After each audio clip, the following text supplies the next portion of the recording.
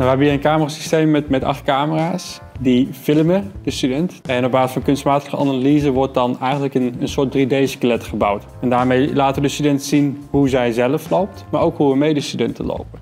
En daardoor krijgen we eigenlijk de, een, een veel diverser beeld van een, het normale looppatroon. Wat we nu doen is dat we in blok 1 hebben ze het over de gezonde mens. Dus we brengen het normale gaan, het normale lopen, uh, brengen we eigenlijk in kaart. En op het moment dat we nu uh, naar blok 2 gaan, gaan ze het hebben over de onderste extremiteit. Nou ja, uh, dat betekent eigenlijk de benen en, en pathologie daaraan. Dus, dus blessures aan, aan het onderlichaam.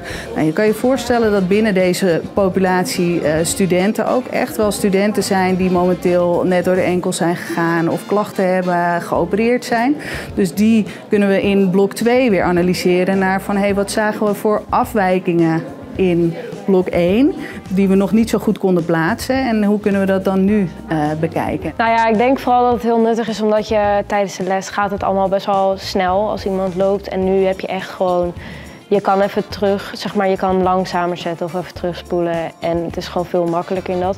Maar ook gewoon uh, met in de les ben je altijd naar anderen aan het kijken. Met hoe zij het doen en hoe zij lopen. Maar nu kan je ook gewoon naar jezelf kijken met hoe loop ik eigenlijk. En hoe zit ik een beetje in elkaar. Dus dat vind ik wel super chill. Het is het eerste jaar dat we deze technologie hebben toegepast binnen de fysiotherapie. Het is ook pas twee tot drie jaar beschikbaar. En we zijn daarmee de eerste in, in Nederland die eigenlijk op deze schaal gangbeeldanalyses integreren in het onderwijs. Uh, en dat, dat, dat, willen we ook in Amsterdam. We vinden dat dat moet. Over vijf tot tien jaar wordt deze technologie breed geïmplementeerd, verwachten we binnen fysiotherapiepraktijk of binnen orthopedische revalidatiecentra.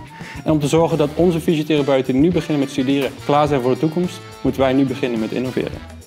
Ja, als je kijkt naar de innovatie eh, binnen onze beroepsgroep, is dit natuurlijk echt super uh, innovatief. Uh, dit is niet een systeem wat je treft in de reguliere praktijk. Hier kunnen we echt superveel mee. Uh, ja, hier onderscheiden we ons echt mee. Doordat we dit kunnen aanbieden nu aan de, aan de student.